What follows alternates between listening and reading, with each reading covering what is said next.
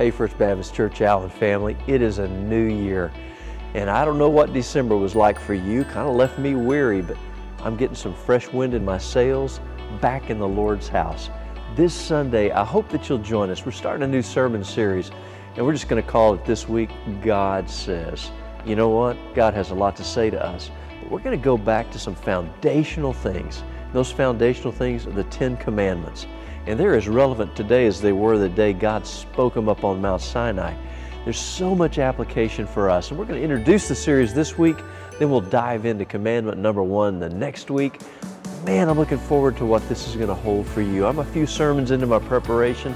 It has meant so much to my life. I think it's going to mean a whole lot to you too. Get into some new habits. Be in worship. Get into a small group. And sure enough, read your Bible every day. Now, there are a lot of different ways to engage with God's Word. One of the ways to do that, we have Bible reading plans on our website. Great ways to connect with other people who are reading the Bible. To kind of keep each other accountable and encouraged. Check out the website. So many great things coming your way. Things for all age groups. We're back in the building. Worship, Bible fellowship groups, 9 o'clock, 10.30 for both. Be there.